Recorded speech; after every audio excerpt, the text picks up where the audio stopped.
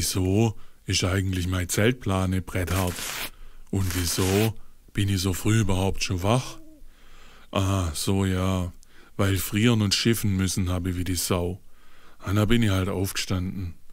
Aber was tut man nicht alles, damit's dem Kerl bald wieder besser geht? Seine Ärztin hat ihm kalte Bäder verordnet. Das tät die Heilung fördern. Ach so, Entschuldigung. Ich hab mich noch gar nicht vorgestellt. Kowalski, Heiner Kowalski. Und der arme Kerl da, das ist mi Mottobärle, mein treuer Reisebegleiter sozusagen. Und auch so was ähnliches wie das Maskottle vom Motto Reiseforum. Und wie das alles kommen ist, dass der jetzt auf Kur muss, die Geschichte, die erzähle ich jetzt.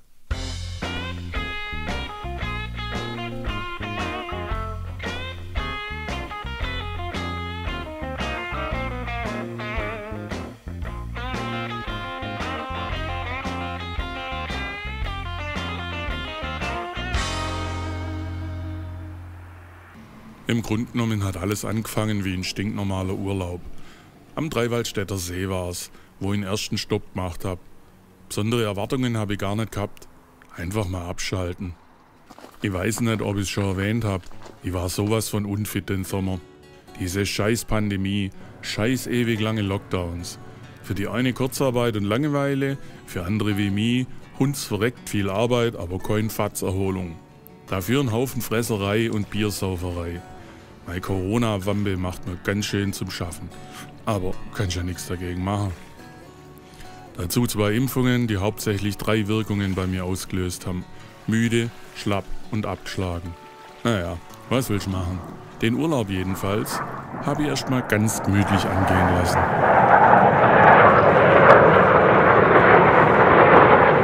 Natürlich habe ich auf Reisen immer mein Handtuch dabei. Diesmal zusätzlich sogar ein Badhose. Ich glaube, das gehört sich so in so einer leicht mondän angehauchten Gegend.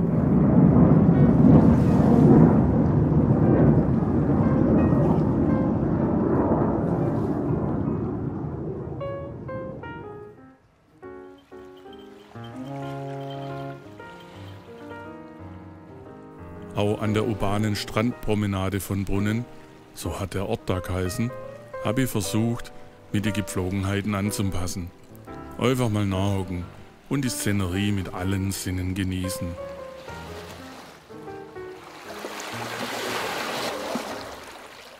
Angenehme Temperaturen, eine leichte Brise aus frischer Bergseeluft, einem Hauch von rußigen Abgasen der Dampfschifffahrt und einer leicht fischigen Note von dem, was aus den Sammelbehältnissen zum Entsorgen von Hundekacke halt so rausgast, wenn die Sonne da drauf scheint haben sich zu meinen visuellen und akustischen Eindrücken dazugesellt. So also geht mondäne Entspannung. Wieder was gelernt. Besonders lang bin ich da nicht geguckt. Na habe ich mir halt bissle die urbane Umgebung angeschaut. Für meine Verhältnisse richtig viel Kunst und Kultur.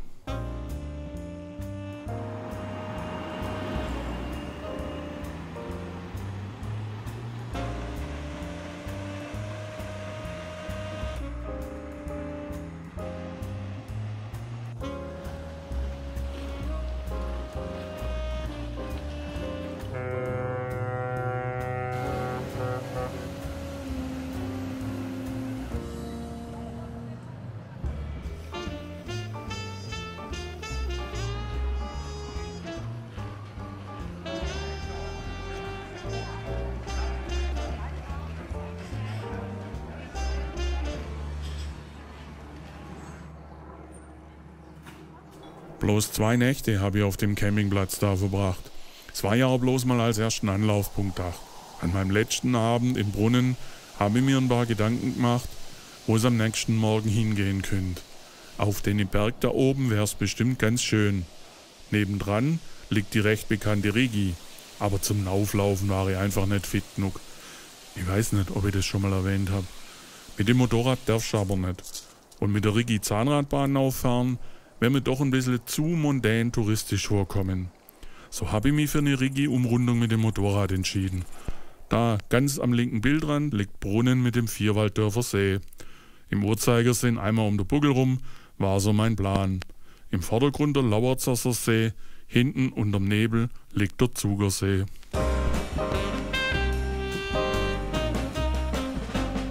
Zelt und Zeug war aufgerödelt. Endlich unterwegs, ging's immer am Ufer entlang.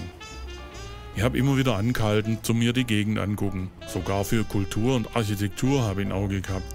Wobei ich das als völlig ausreichend empfunden habe, die Kirche da bloß von außen anzugucken. Ich bin halt schon Kulturbanause.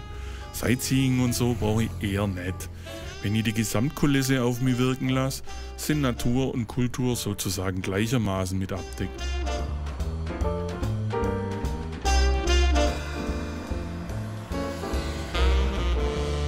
Oben irgendwo, da müsste die Riege gewesen sein. Wie es von da oben wohl so ausgesehen hätte? Ha, zum Glück gibt's ja das Neuland. Wenn die Schweiz eins gut kann, dann ist das mobiles Internet. Und Bus und Bahn und Käse und Schokolade und, und, und.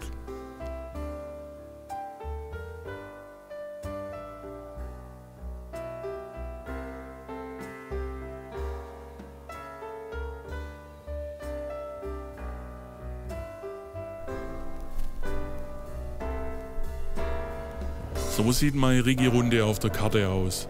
So ein richtiges Ziel habe ich mir für den Tag noch nicht festgelegt gehabt. Erstmal auf auf den Bragel und über den Klausen wieder retour ins Reustal. Dann mal gucken, wo ich übernachten will. An der Stelle bin ich nur auf dem Rückweg zum Vielwaldstätter See gewesen, zu meine Umrundung beenden. Zum Pragelpass bin ich zunächst ein gutes Stück durchs Mattental oder Mottental oder wie das heißt.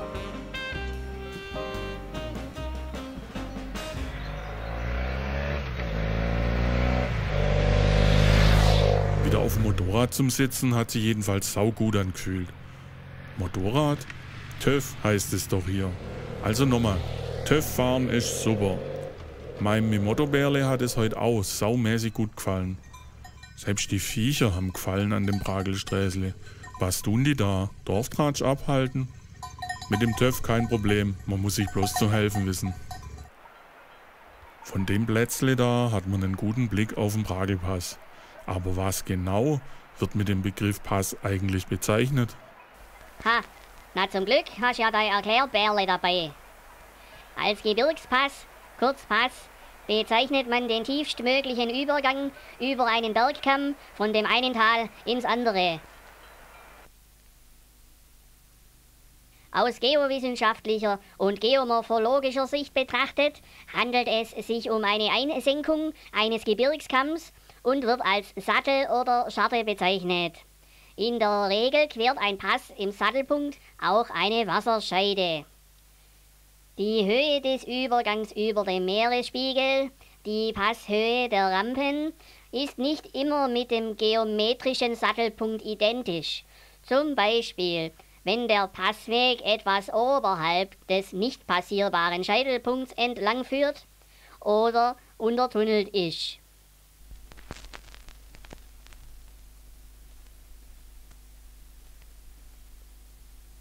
Orographisch landschaftlich umfasst der Begriff mehr als nur die orographische Passhöhe. Auch die funktional mit der Höhenlage verbundenen Gegenden und Strukturen gehören dazu, also der umgebende Raum und die Passrampen. Im Straßenverkehr wird der Begriff Pass häufig synonym für die Passrampen respektive Straßen benutzt. Ursprünglich und heute noch volkssprachlich tragen Pässe gar kein Gattungswort in ihren Namen.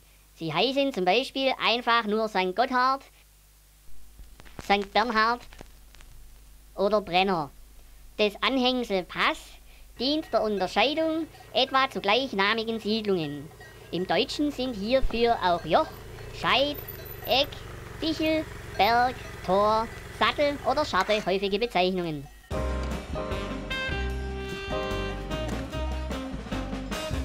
Was das kleine Klugscheißerle alles weiß? Von so viel schlauer Theorie habe ich aber ganz schön Hunger gekriegt.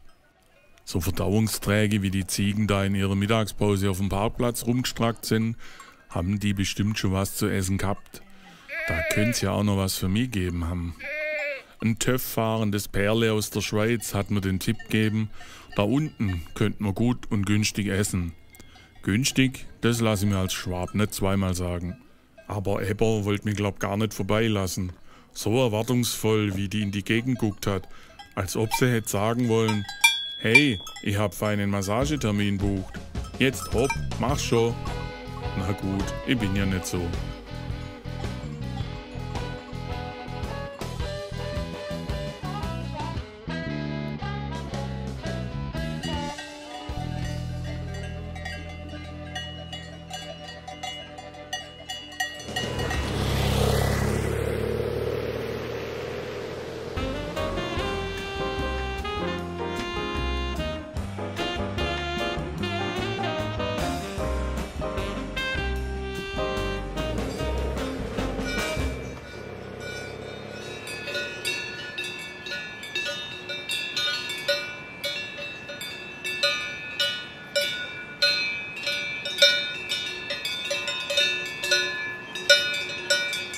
Schock. Mein Fotoapparat ist nicht mehr im Koffer gewesen, wo er hingehört. Sag mal, habe ich den jetzt echt da oben am Pragel vergessen gehabt? Ja klar, nichts wie zurück.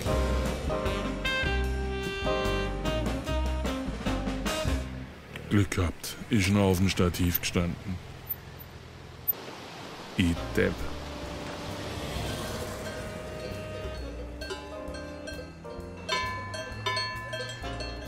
Auf der Passhöhe vom Klausen ankommen, hat sich ein kurzer Dialog ergeben.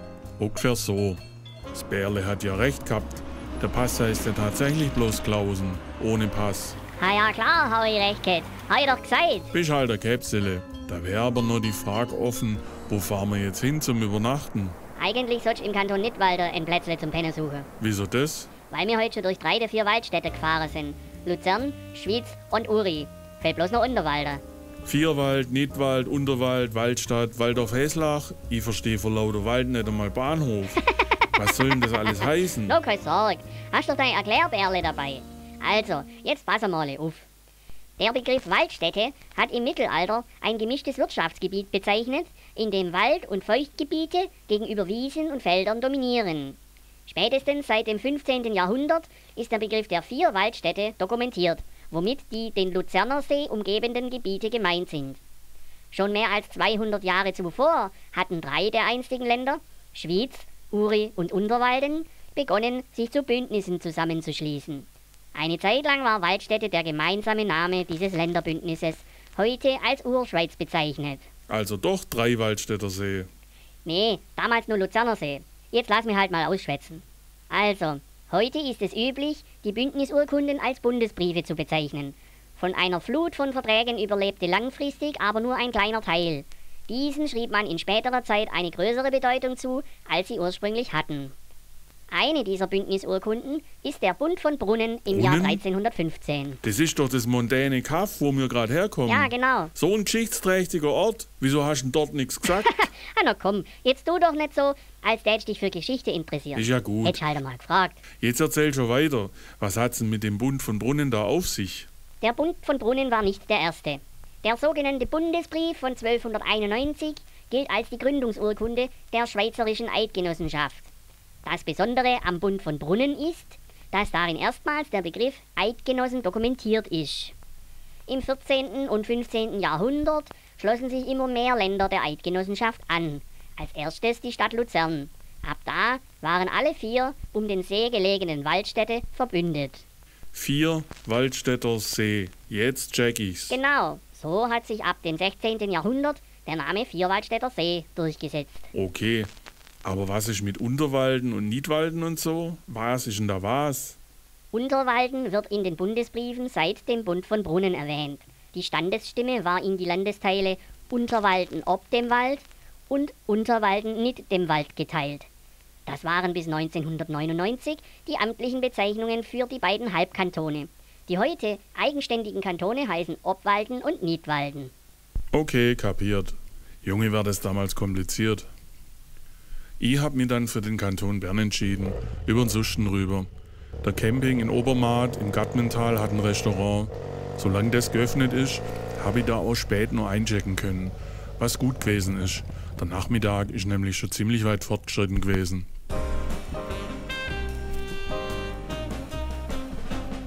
Vom Sustenpass haben mir ja schon etliche TÜV-Fahrer vorgeschwärmt.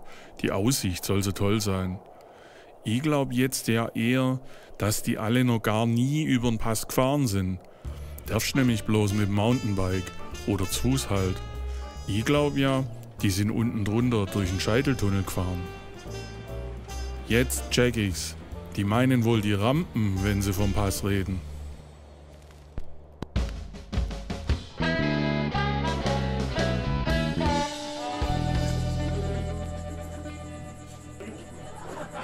Zum Essen dazu hat selber brautes Bier geben. Naturtrüb mit frischem Bergquellwasser braut und mit fruchtiger Hopfennote. Genauso wie ich's mag. Nee, da ist nicht drin, was draufsteht. Aus dem Appenzell sind bloß die Gläser. Mir hat's geschmeckt. Besser hätte der Tag nicht ausklingen können.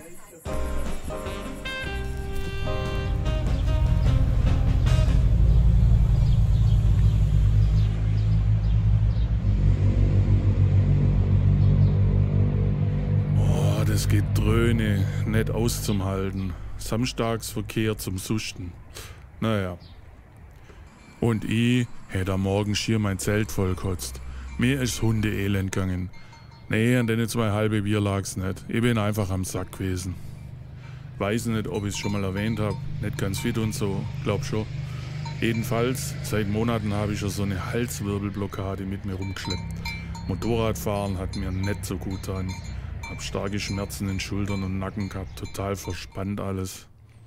Für den Tag habe ich mir nichts vorgenommen gehabt, außer heiß duschen, gescheiten Kaffee und Tee, Elektrolyte zum Frühstück, Salz und Faulenzen, bis es mir wieder besser gegangen ist. Tut auch mal gut.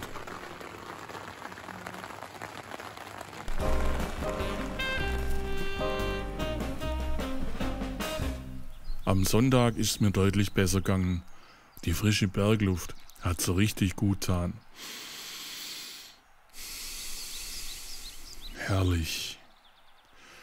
Berle, hast du heute schon die Meteo checkt? Ha, natürlich. Ja, und wie wird's? Ha, soll schon rechter Seuch werden den nächsten Tag. In der ganzen Schweiz. Außer im Wallis. Da soll die Sonne vom Himmel runterbretzeln wie Zau.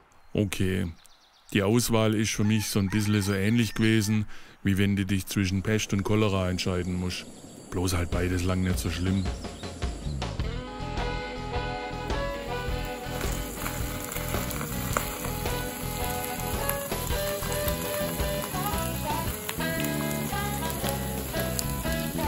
Aber weil es Wolken ohne Seuch nicht zur Auswahl gegeben hat, habe ich mich halt fürs Wallis entschieden.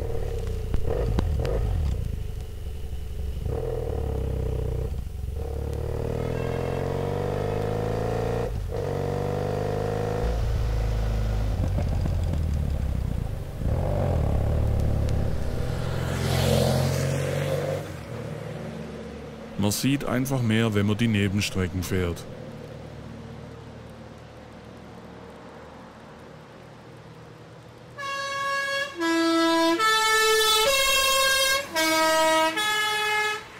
Das wissen auch die Profis.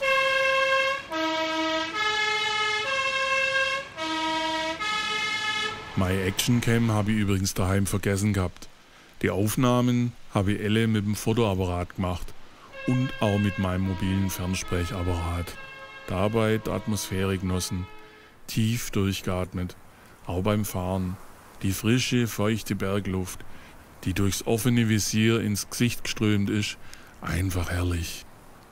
Was ich auch noch toll gefunden habe, dass da so wenig los gewesen ist.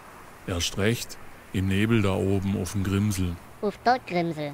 Hä? Auf der Grimsel. Man sagt die Grimsel. Wieso die? Das heißt doch der Grimselpass. Der Grimselpass ist schon richtig. Hast schon wieder vergessen. Grimsel ist historisch nicht die Abkürzung von Grimselpass. Pass ist bloß ein Anhängsel. Grimsel ist der historische Name von dem Pass, respektive von dem ganzen Gebiet dahin. Und historisch sagt man halt die Grimsel. Ist halt so, wie das halt so ist. Was weiß ich wieso. Ja, von mir aus. Der eine oder andere sagt aber auch der Grimsel. So gesehen liegst ja nicht ganz falsch. Na, siehst mal wieder. Also, oben auf der Grimsel ist wenig los gewesen. Umso mehr dafür unten im Rottental. Nicht bloß im Furka-Zügle.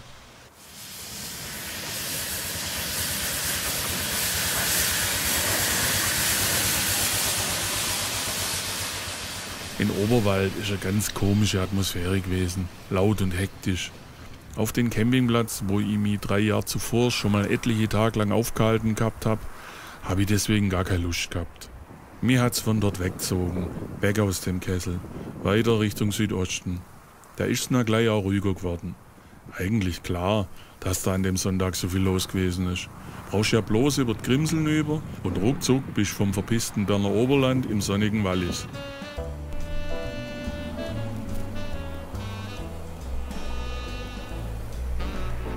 Aber bis ins abgelegene Bintal hat sich von den Sonntagsausflügler keiner verirrt.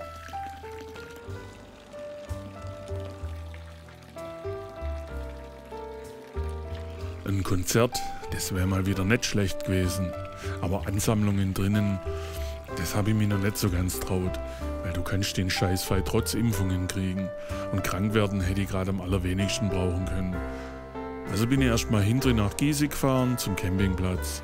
Und da halt mal guckt, ob mein Lieblingsplätze vom Jahr 2019 noch frei gewesen ist. Jawohl, hab mein Plätzle okkupiert, mit sofortiger Wirkung als mein Stammplätzle deklariert, zudem ein Unabhängigkeitsreferendum abgehalten und mein Staatsgebiet ausgerufen. Naja, nicht ganz. In Wahrheit habe ich mich halt im Rezeptionshäusle angemeldet. Damals nämlich, 2019, habe ich auf dem Rückweg von der Westalpentour hier so einen spontanen Zwischenstopp eingelegt gehabt. Ach, schöne Erinnerungen sind es gewesen. An die Tour eh, aber auch an den Aufenthalt hier im Bintal. Schön wieder hier gewesen zum sein. Die Parkierungsgebühr fürs TÜV ist immer noch so günstig. Bloß zwei Franken pro Nacht habe ich zahlt.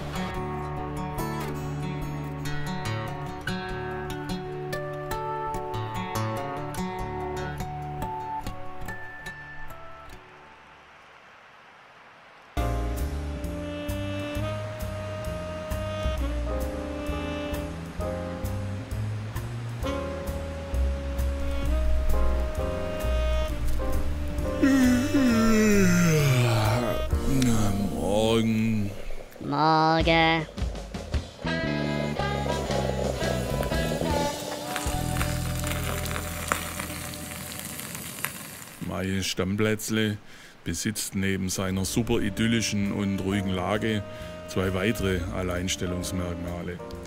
Erstens wird die nächtliche Dunkelheit nicht durch Kunstlicht zerstört. Zweitens steht das wahrscheinlich schönste Campingklo der Welt gleich nebenan. Aussicht ins Grüne inklusive. Und es ist ein guter Ort, sich Gedanken zum Tagesprogramm zu machen. Zum offenen Berg aufgräbseln, zum den dann erst bemoschen, so wie 2019 auf dem Gantern, hat mir einfach die Kraft gefehlt. Weiß nicht, ob ich es schon mal erwähnt habe. Also bin ich mit dem Töftal abwärts gefahren, zum die Gegend erkunden. Ganz ohne Kultur und Geschichte und so. Einfach bloß gucken.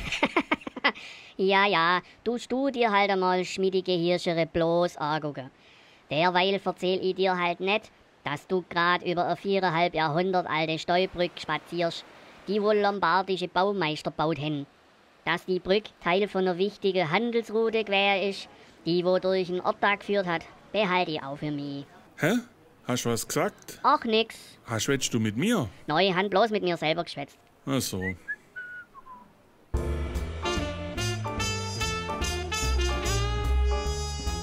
So vom Ding her hat sich das ein bisschen wie Freilichtmuseum angefühlt hier. Die Häusle müssen ja schon uralt sein. Wo sonst gibt's das wohl noch, dass das alles so ursprünglich erhalten blieben ist? Ohne hässliche Neubauten dazwischen. Schon schön irgendwie.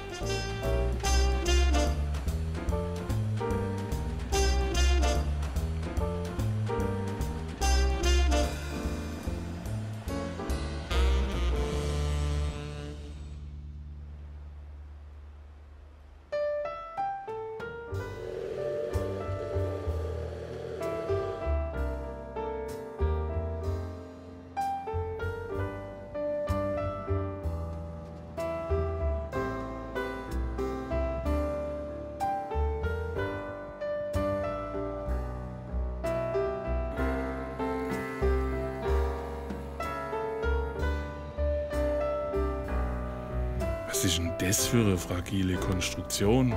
Berle, weißt du was darüber? Ha, natürlich. Ha, und was? Verrate ich dir nicht. Na halt nicht.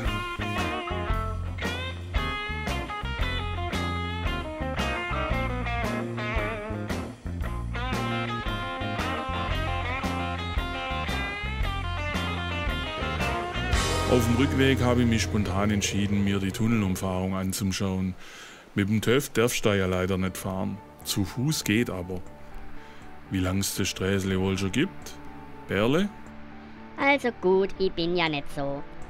Die Route der Hanna führt über den Albrunpass nach Italien. Das weiß ja, gell? Albrunpass? Nee, sagt mir nix. Kann man da mit dem TÜV drüber fahren? Nee, natürlich nicht. Da kannst du bloß zu Fuß drüber. Ach so? Das ist so ein uralter Säumerpfad auf über 2400 Meter. Pass auf, ich lese mal was vor. Die tief eingeschnittene Zwingi war früher ein schwierig passierbarer Abschnitt der Handelsroute über den Albrunpass nach Italien. Zur Römerzeit bot sich die Route als Nord-Süd-Verbindung an, da der Simplon vermutlich noch nicht begangen wurde. Die ältesten beidseits des Passes gefundenen Spuren gehen sogar bis auf die jüngere Eisenzeit zurück. Im Jahr 1864 ist die Straße nach Schmidige-Hilschere ausgebaut worden. Knapp 20 Jahre danach kamen mit der Eröffnung des Hotels Ofenhorn die ersten Touristen ins Binntal. Das war damals aber noch eine schmale Wagenstraße für zweirädrige Postkarren. Sie wurde erst in den 1930er Jahren durch eine wirkliche Fahrstraße ersetzt. 1938 fuhr das erste Postauto nach Binn. Doch auch mit der Straße war die Twinge im Winter häufig nicht passierbar. Das obere Binntal war dann von der Außenwelt abgeschnitten und auf Selbstversorgung angewiesen. Erst der Bau des wintersicheren Tunnels brachte 1965 das Ende der Selbstversorgung. Okay, krass. Heute kaum noch vorstellbar, einen Winter lang auf sich selber gestellt zu sein. Wie viele Leute haben denn damals da gewohnt? Das sind immer weniger Wochen. Um 1900 war es gerade mal um die 230. 1970 bloß noch 200 und 1990 bisschen mehr wie 160. Heute sind es keine 130 mehr. Okay.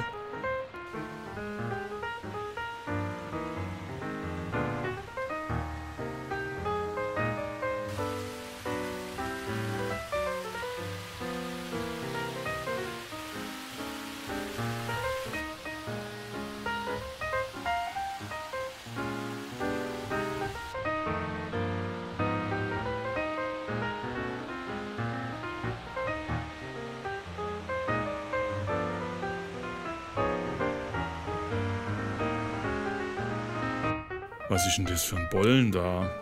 Sieht ganz schön gefährlich aus. Der muss da weg. Oder ist das am Ende gar so etwas wie Kunst? Was ist denn das? Das ist doch kein echter Felsbollen. Sieht irgendwie künstlich aus, so vom Material her. Wie Schaumstoff. Oder doch poriger Lavastein? Ah, ist wohl doch irgendwas mit Kunst. Ja, genau. Die Twingi Landart bringt seit 2007 alljährlich zeitgenössische Kunst in die Berge. Ausgewählte KünstlerInnen setzen sich mit der Natur- und Kulturlandschaft des Bintals auseinander und zeigen entlang der historischen Fahrstraße ihre Werke. Das Zusammenspiel von wildromantischer Natur und den Installationen überrascht, irritiert und fordert sowohl KünstlerInnen als auch AusstellungsbesucherInnen heraus. Mhm, stimmt. Irritierend und fast schon überfordernd.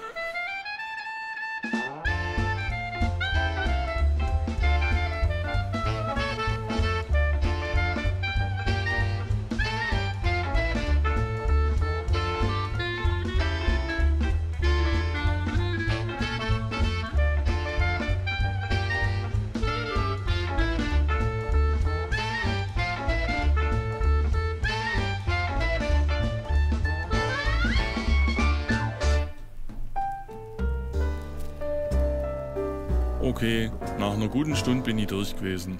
Ab da ist Retour gegangen.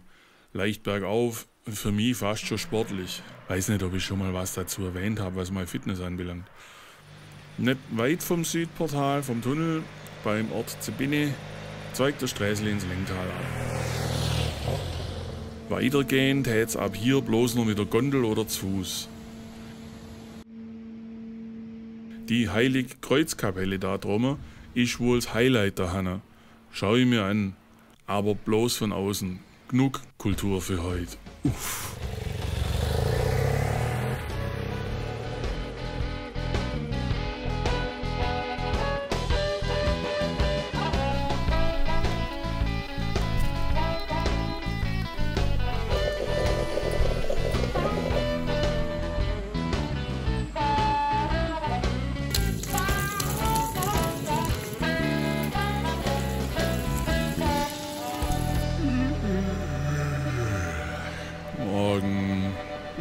Morgen. Und, was denn wir heute? Ist doch klar. Gestern Tal runter, heute Tal nuff. Von mir aus. Heute aber wirklich mal ohne Kultur und Geschichte und so. Okay, versprochen. Ich verschone die heute konsequent. Mit dem TÜV zum Fahren hätte sich nicht rentiert. Von Giese darfst du nicht einmal einen Kilometer weit fahren.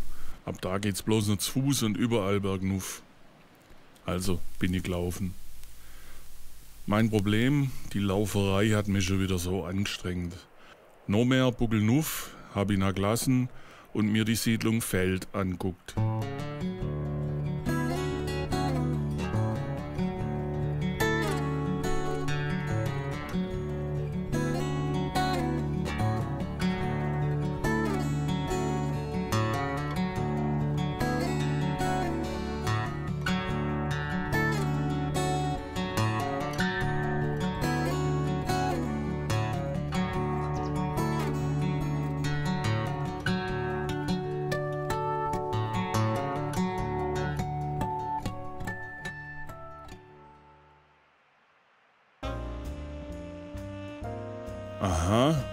Geht's wohl zum Albrunpass auf. Es wäre ja doch ein richtig schönes Sträßle. Aber ich sehe ja ein, ein paar Meter weiter oben wird's schon recht schwierig fürs TÜV. Finde ich ja auch richtig, zur Knalltreiblinge unten im Tal zum lassen. Wäre doch schade um die Ruhe da oben.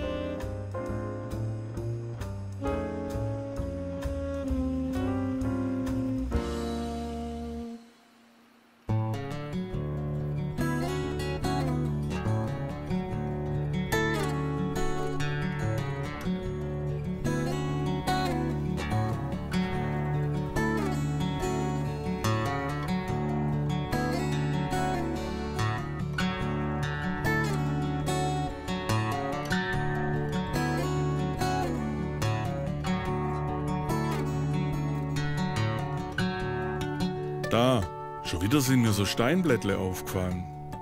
Jetzt sag schon, Bärle, wofür sind denn die Blättle gut? Wieso bauen die Leute hier ihre Häusle so Ich komisch? hab dir ja versprochen, dich mit Kultur und Geschichte und so in Ruhe zu lassen. Aber weißt was? Das zeig ich dir auf dem Ballenberg. Ballenberg habe ich gar keine so schlechte Idee gefunden. Erst wenige Monate davor habe ich den Ballenberg zum ersten Mal besucht gehabt. Ich wollte da eh noch ein paar Mal hin, weil es mir da so gut gefallen hat und weil es da noch so viel zum Entdecken gibt. Auf dem Ballenberg, da liegt das Freilichtmuseum der Schweiz. Ein riesig großes Gelände mit Wald und Wiesen und Häusern, wo praktisch die komplette Schweiz kompakt zusammengefasst ist. Das Wallis ist natürlich auch dabei. Ja, ich weiß, langweilige Museen mit leblosen Ausstellungen sind das Letzte, was ich mir im Urlaub wünschen tät. Aber der Ballenberg ist anders.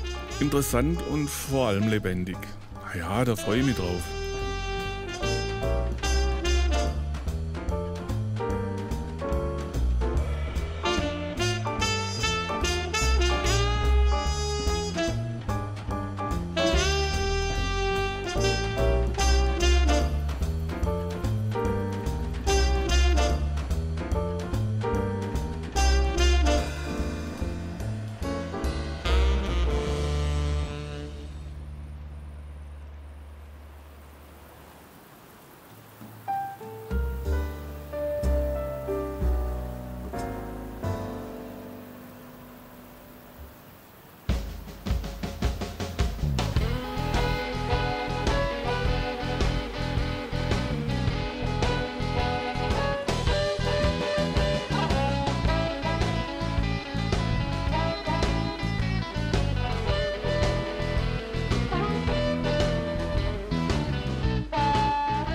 Diesmal ist drin gewesen, was auf dem Glas gestanden ist.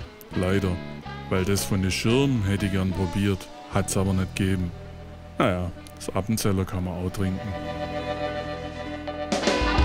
Das Salätle mit den hauchzarten Streifen vom Bündnerfleisch habe ich jedenfalls lecker gefunden.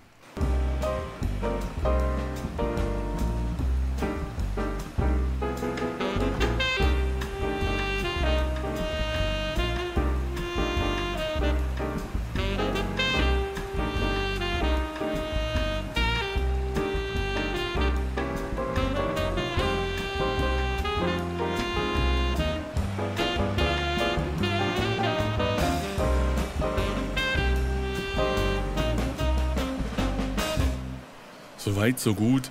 Der Plan für die nächste Tage ist also gestanden. Auf zum Brienzer See.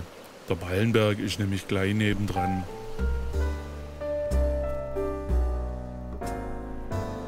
Nach einer erfrischenden Nacht im Zelt, so um die 2 Grad wird's gehabt haben am Morgen, habe ich mich auf den direktesten Weg gemacht. Ja, okay, wer sich an die Karte mit meiner Route nur so grob erinnern kann, hat vielleicht auch schon erkannt, dass die Westrampe vom Nufenen nicht so ganz direkt nach Westen führt, weil so direkt direkt wäre ja auch schade gewesen.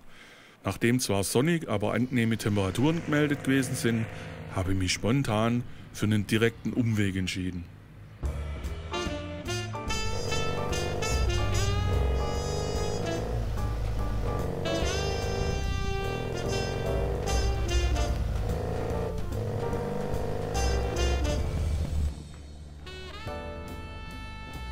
Erklärbärle begrüßt Sie recht herzlich und heißt Sie willkommen an Bord zur Vier-Kantone-Rundfahrt Tessin, Uri, Wallis und Bern. Beim Tessiner Dörfle Airolo biegen wir nach Norden auf die Tremola ab. So heißt die alte Südram zum Gotthard. Das sind die mit Natursteig gemauerte Kehre da ne? aus dem Jahr 1772. Die Galerie da oben kehrt zur 1977 fertiggestellten neuen Gotthardstraße. Der große Denzel-Albe-Straßenführer ordnet die alte Tremola im mittleren Schwierigkeitsgrad SG3 ein. Fehlende Randführung, eng zweispurig, ohne Asphaltbelag, viele stark gekrümmte Kurven und Kehren mit stärkerer Steigung erfordern Fahrpraxis und sichere Fahrtechnik auf Bergstraßen. So stark im Denzel geschrieben. Die Passhöhe liegt auf 2107 Meter. Das Denkmal da ist einem Wadländer Flieger gewidmet, der wo 1928 in der Gotthardregion gefallen ist. Ein Stückle weiter nördlich von uns überfahren wir gleich die Grenze vom Kanton Tessin in der Kanton Uri. Jetzt findet wir uns auf der Furka-Straße, genauer gesagt auf der Ostrampe zum Furka-Pass. Unter im Tal fließt uns die Furka-Reus entgegen die, wo sich da Husse im Hospental mit der Gotthard-Reus vereint und von da ab bloß noch Reus heißt. Weiter unten fließt die Reus nah in der Vierwaldstätter See nei. Der Name Furka stammt aus dem Lateinischen, womit ursprünglich eine zweizinkige Gabel bezeichnet wurde. Das hat sich im Sprachgebrauch auf einen zwischen zwei hohen Gipfeln tief eingesenkten Pass übertragen. Anfang des 14. Jahrhunderts hieß der Pass Furke, im 18. Jahrhundert Gabelberg. Spätestens seit der Römerzeit war die Furka als inneralpine West-Ost-Verbindung wichtig. Der Ausbau zur Fahrstraße zwischen Hospental und Oberwald erfolgte in den Jahren 1863 und 1866. Da Hanne auf der Furka verläuft auch die Grenze von Uri ins Wallis. Wir sollten aber ein Stück hinaus auf die Westram fahren. Von da aus kannst du besser ins Tal glotzen.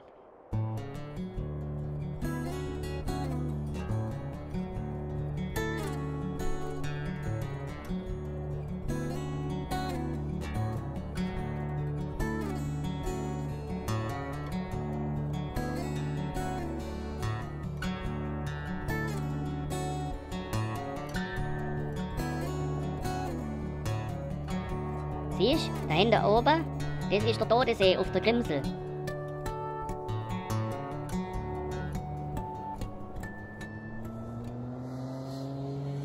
Das da drüben in der Kurve ist Hotel Belvedere, dahinter der Quellsee von der Rhone. Links davor hat vor 100 Jahren der Rhone-Gletscher seit Zong hängen lassen. Bis da ins Tal hat damals der Gletscher gereicht. Heute versteckt er sich da oben in den Berg, wo es nicht so warm ist. Da unten, da liegt Gletsch.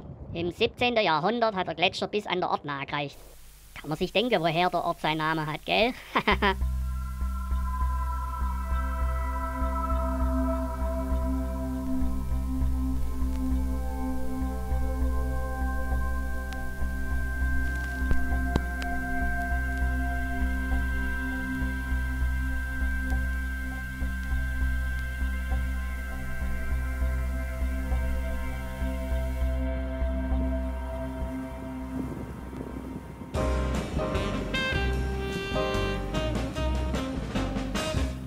Und der Hanna auf der Grimsel geht's noch aus dem Wallis ins Berner Oberland. Aber das kennen wir ja schon, gell?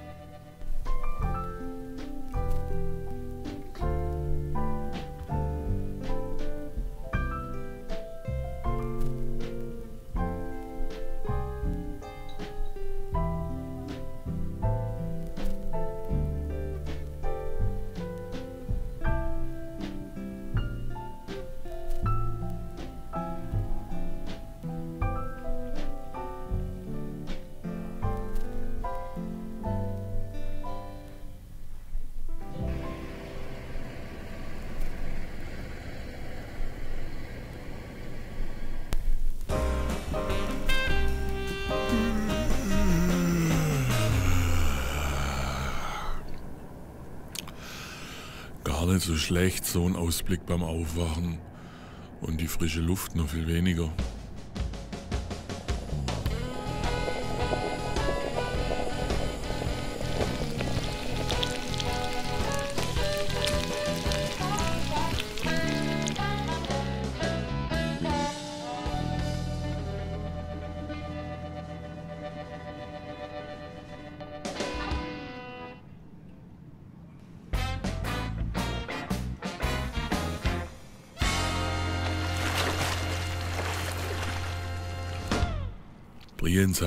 Ganz gut leiden können, so vom Ding her. Mir ist der Ort viel weniger mondän vorkommen im Vergleich zu Brunnen. Trotzdem, für bergdörfliche Verhältnisse hat es hier was Weltoffenes, fast wie ein Hauch von ganz kleiner Großstadt. Hat alles, was man braucht, kompakt beieinander und ist irgendwie gemütlich. Der Ballenberg hat feiner warten müssen. Nach so viel Kultur schon wieder am Tag davor, habe erst mal einen Tag zum Ausruhen braucht. Meine Vorräte aufzumfüllen war mein einziges Pflichtprogramm für den Tag. Bloß ein paar Hennedepperle vom Zeltplatz weg, gleich beim Bahnhof soll ein Supermarkt sein. Da habe ich bloß geschwind hinwollen. Ja, ja, bloß geschwind. Aus irgendwelche unerklärliche Gründe habe ich saumäßig rumdrödelt. Was hat denn das mit den Holzfigürle da auf sich? Ha, zum Glück hast du ja dein Erklärbärle dabei. Hanno? In Brienz findet seit 2012 jährlich im Juli ein internationales Holzbildhauersymposium statt. Einige KünstlerInnen hatten ihre dort erschaffenen Werke den VeranstalterInnen überlassen.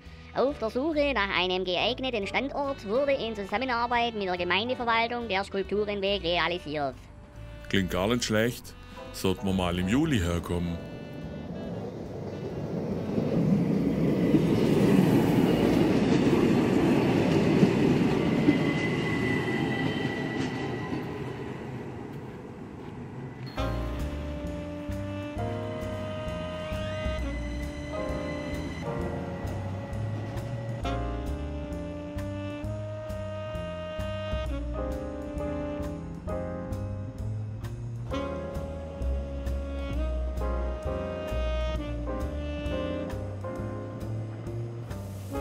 Ja was, das Bähnle kenne ich doch.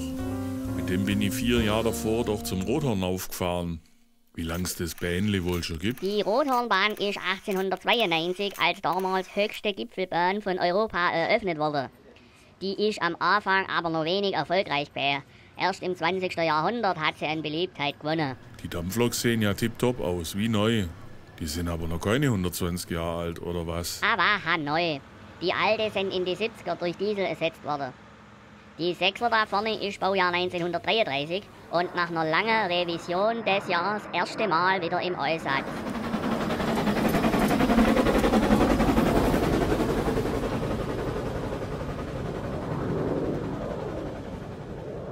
Die 15er nebendran ist 1996 gebaut worden. Die hat eine moderne Ölfeuerung und viel mehr Leistung. Die stinkt auch nicht so brutal.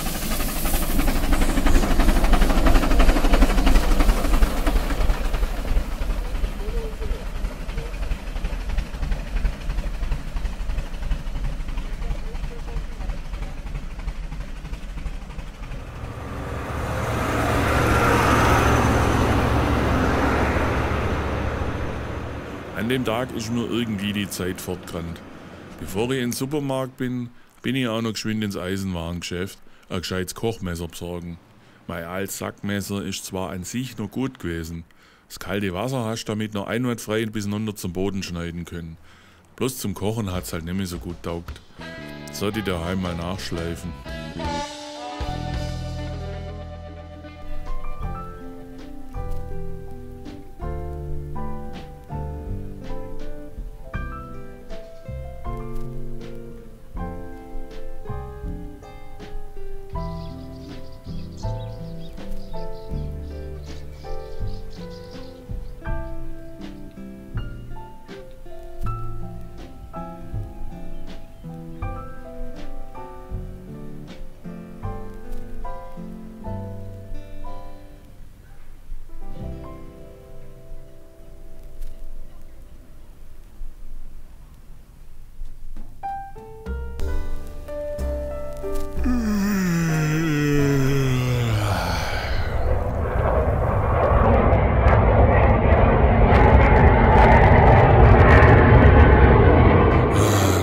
Zum Stellen kannst du dir in Brienz echt sparen.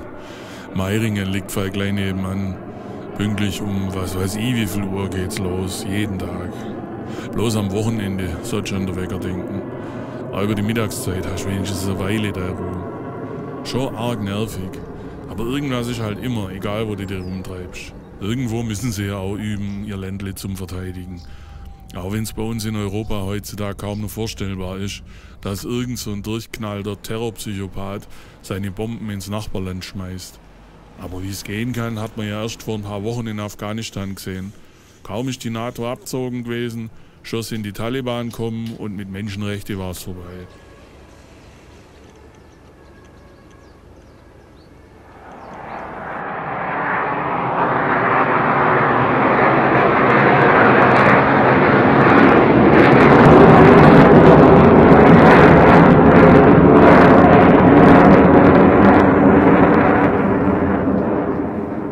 Jedenfalls habe ich mir mal einen wirklich kulturfreien Tag gönnt. Schiffle gucken hat was Beruhigendes.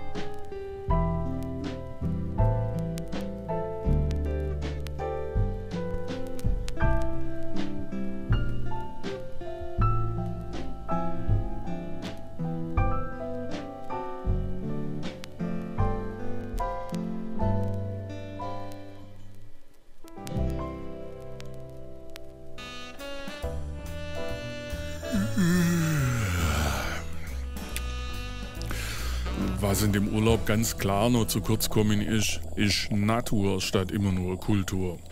Nicht weit weg liegt die Gletscherschlucht Rosenlaui. Soll beeindruckend sein.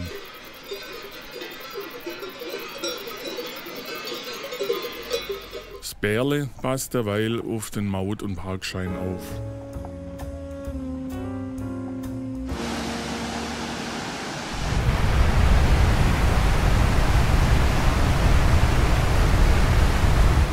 Fei, ohne Scheiß, wenn ich vorher gewusst hätte, wie laut es da drin ist, hätte ich Ohrenstöpsel mitgenommen.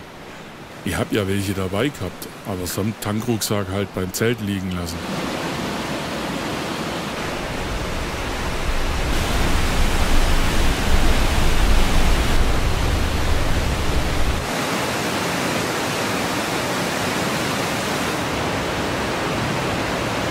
Die Eindrücke kann ich mit der Kamera alle gar nicht so einfangen, ich zumindest nicht.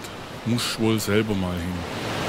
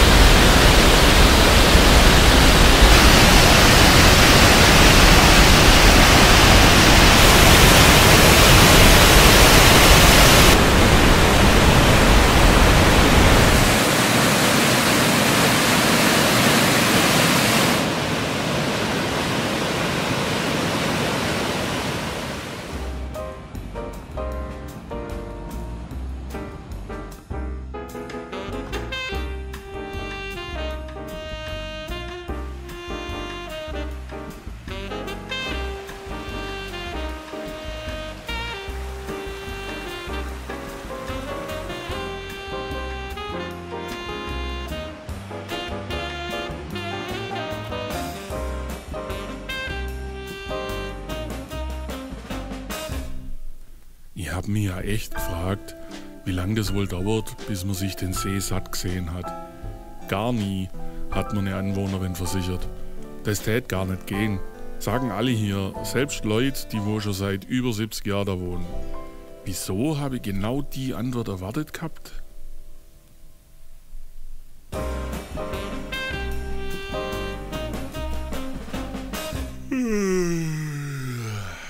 Juhu, heute gehen wir auf den Ballenberg. Okay, einverstanden. Ich gebe ja zu, ich bin echt gespannt gewesen, was es mit den Steinblättle aus dem Wallis auf sich hat.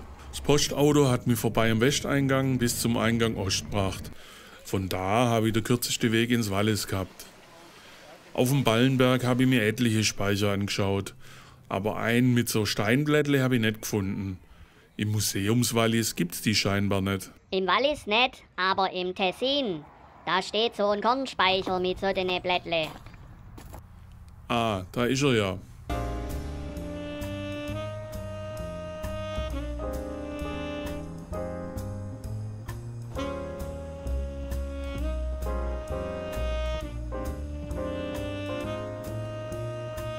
So, und jetzt pass gut auf, was dir dein Erklärbärle gleich zeigt.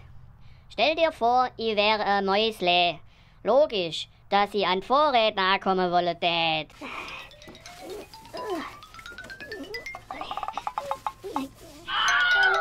Sag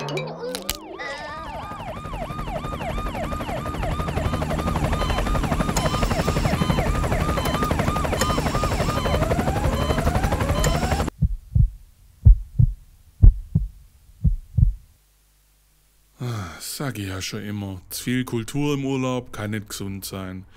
Wobei ich gebe ja zu, so schlecht habe ich das ja alles gar nicht gefunden. Bloß übertreiben sollte man es halt nicht. An der Stelle ist der Urlaub nah vorbei gewesen. Am Tag drauf habe ich mein Zelt zusammenpackt und bin heimgefahren.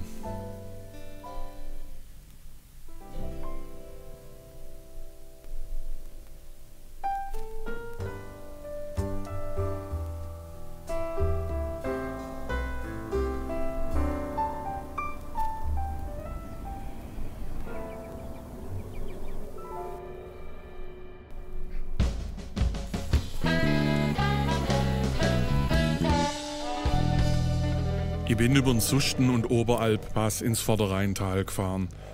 Die Abzweigung zum Kunkelspaß habe ich leider verpasst. Beim nächsten Mal halt. Soll ja spaßig sein, habe ich gehört. Unterwegs habe ich mir wieder viel Zeit gelassen.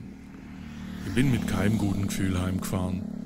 Ich habe mir vorgenommen, daheim als allererstes im Keller nachzugucken, ob die Russen schon da sind. Keine Ahnung, wieso ich ausgerechnet in dem Moment da auf die Idee gekommen bin.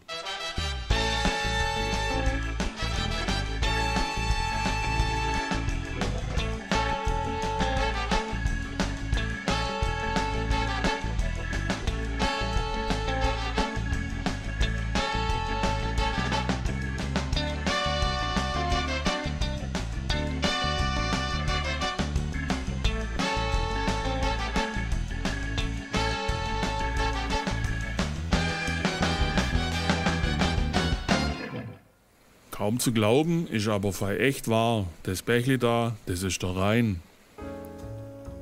Ich bin zwar schon traurig gewesen, dass der Urlaub so abrupt vorbeigegangen ist, aber auf eins habe ich mich gefreut wie Sau.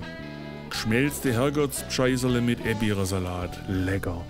Gibt's halt bloß im Schwabeländle. Der Alkoholtest habe ich auch bestanden. Dann habe ich auch den Rest noch heimfahren können. Der Papst hat's Spätzle besteckt spät bestellt.